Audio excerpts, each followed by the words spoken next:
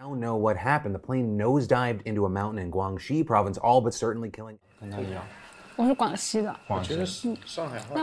networks, the so-called um, guanxi relationships that they build.